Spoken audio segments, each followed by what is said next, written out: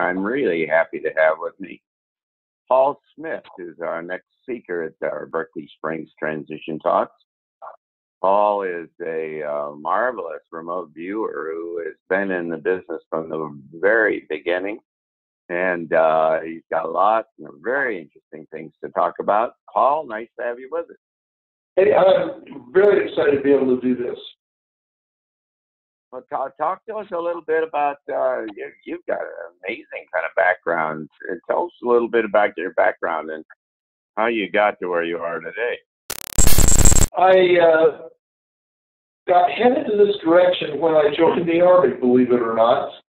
Um, I came as enlisted man studying Arabic and to become an Arabic linguist, and then I uh, went on became an officer and moved to Fort Meade, Maryland, having no idea that any such thing as remote viewing existed. And while I was there, I was approached by the people who were involved in the program and essentially recruited to become a remote viewer. Um, it's certainly not anything I saw coming when I, uh, I was doing basic training at Fort Leavenworth, Leonard Wood, Missouri. Now, now explain to our viewers uh, just what remote viewing is, if you will, please. Remote viewing is, uh, is a skill that leverages this underlying psychic ability, if you will, that everybody has. That, that's one of the the interesting things that was discovered as the government researched remote viewing was that, in fact, is probably the most democratic all abilities. Everybody has the underlying ability, they just have to learn how to develop it. And that's what I've been doing for almost 40 years now. And uh, with remote viewing, you can see places and hear things and feel and touch and whatever, and the other side of the world, uh, all kind of inside your head, right? Well, yeah, that's a, that's a pretty decent description of it. In fact, it did allow us as military psychic spies to remote view things, to perceive things on the, on the other side of the planet, and occasionally on other planets, um, to which we had no other access than the power of our own minds. Uh, it's I like to talk about remote as kind of a cocktail of ESP uh, experiences. So we all know about uh, clairvoyance, or clear seeing as uh, translated directly from the French, in which you, you uh, visually uh, perceive things at a distance or in, a, in some hidden environment. Uh, we know about clairaudience, which is being able to hear things at a distance or whatever. And remote viewing actually combines all the different senses into a, a essentially a cocktail of psychic experience. In other words, perceiving uh, events, people, objects, whatever you might need to perceive uh, under circumstances that you that otherwise you'd never be able to do that.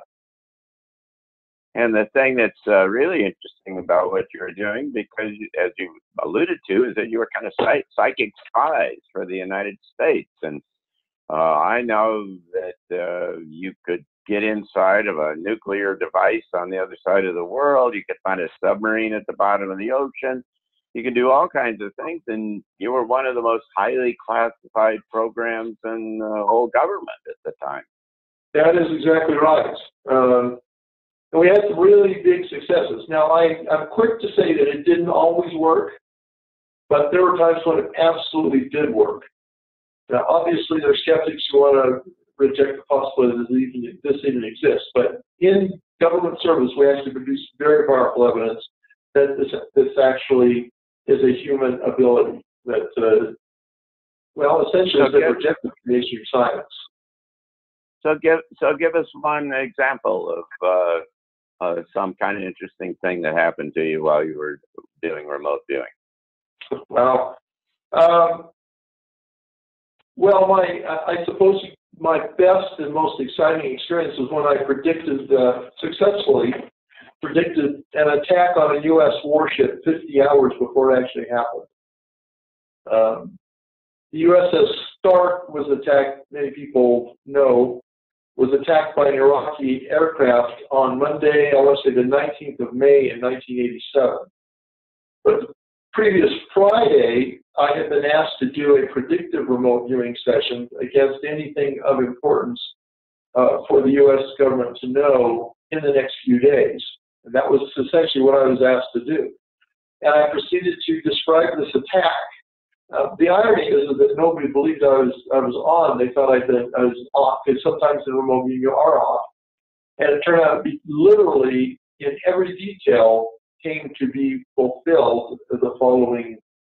Well, I guess it was Sunday night, the following Sunday night, 50 hours after I did it, and, and that still sticks with me as one of the most uh, surprising and amazing things that that was done.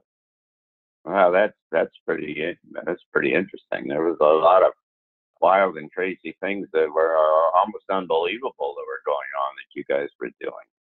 So I mean, this is a a, a nice uh, uh, preface for uh, talking about what you're going to talk about. Uh, November, and I'm very much looking forward to this.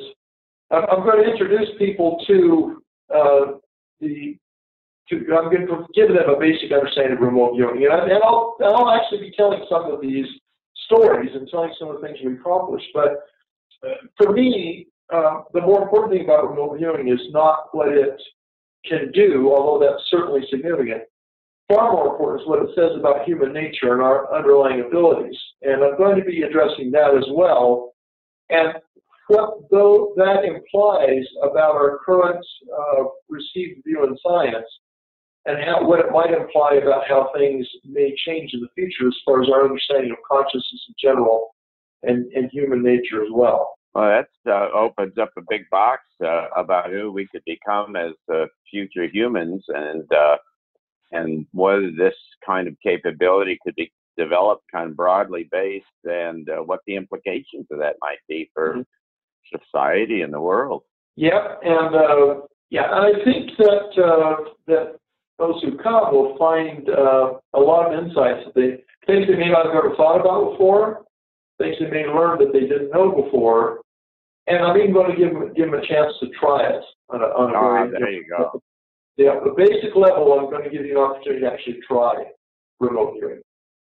Well, you're one of the uh, foremost uh, instructors uh, in this area. Uh, you you go do these uh, classes all the time, all over the place, don't you? I teach uh, what's become known as controlled remote viewing, which is the essentially the formalized version of what we were taught uh, by the by very people that actually developed remote viewing in the first place. And uh, in fact, I just finished a class, five students, and uh, they had a uh, they had a great time, and so did I. And they they did some amazing things. Well, we're looking forward to having you with us on the 17th of November. Uh, which is uh, a little bit more than a month away from the day we're we're doing this little uh, interview. And uh, we'd like to encourage everybody who watches this to come and spend the weekend with us in Berkeley Springs at Berkeley Springs Transition Talks.